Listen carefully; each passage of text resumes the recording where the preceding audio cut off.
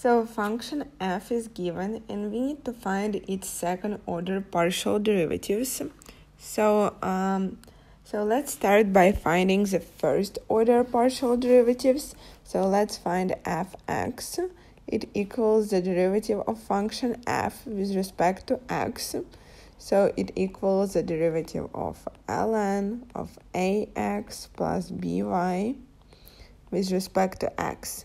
Now we will use the chain rule here and we get that this equals 1 over ax plus by times the derivative of ax plus by with respect to x.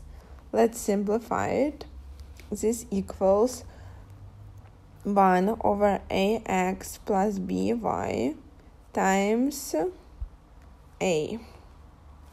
So this equals a over ax plus by. Now let's find uh, another first order partial derivative fy. So it equals the derivative of function f with respect to y. It equals um, the derivative of ln of ax plus by with respect to y. So this equals 1 over ax plus by times the derivative of ax plus by with respect to y. So this equals 1 over ax plus by times b, so it equals b over ax plus by. Well, now when we have found both first order partial derivatives, we can find the second order partial derivatives. So let's start by finding uh, fxx. So it's the derivative of f of x with respect to x. So it equals the derivative of a over ax plus by with respect to x and it equals negative a squared over ax plus by squared. Well, now let's find fyy.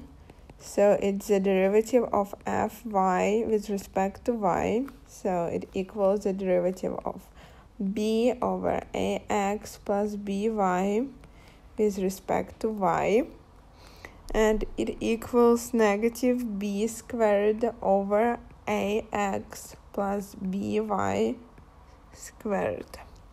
Well, now let's find f x y. It equals the derivative of f of x with respect to y. So it equals the derivative of a over ax plus by with respect to y then it equals negative ab over ax plus by squared.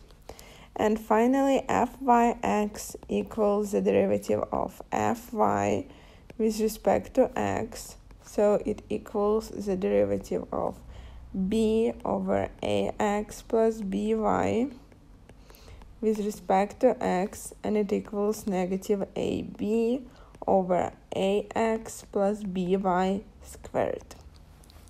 So we have found all four uh, second order partial derivatives of function f.